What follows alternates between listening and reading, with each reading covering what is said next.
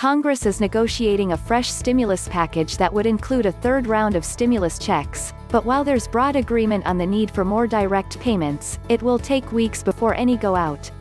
The upcoming second impeachment trial of former President Donald Trump will push back any congressional action, and lawmakers are scheduled to be on recess over President's Day, meaning there may not be progress on a deal until later in the month.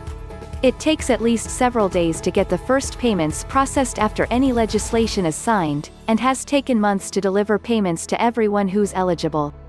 Treasury is still trying to reach some people who should have gotten paid in the first round last year.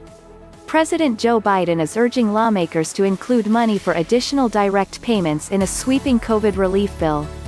While the Senate passed a key procedural step early Friday that will allow Democrats to pass the legislation without the threat of a filibuster from Republicans, lawmakers will only now start drafting the bill text. A final vote could possibly come in late February, after the impeachment trial is complete in the Senate. Lawmakers hope to pass the legislation by March 14. If and when the bill passes, and if it includes new stimulus payments, it's possible the Internal Revenue Service can start sending the money quickly to people whose bank details are on file. When the $600 payments were approved in late December, it took the agency just two days after Trump signed the bill to start delivering the money.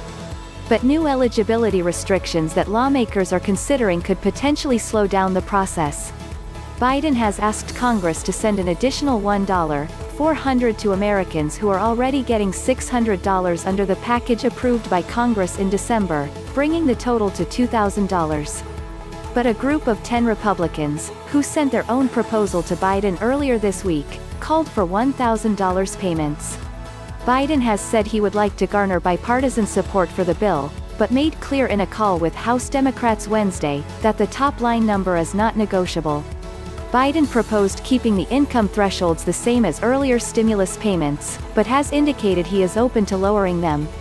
Previously, individuals earning less than $75,000 and couples earning less than $150,000 received the full amount.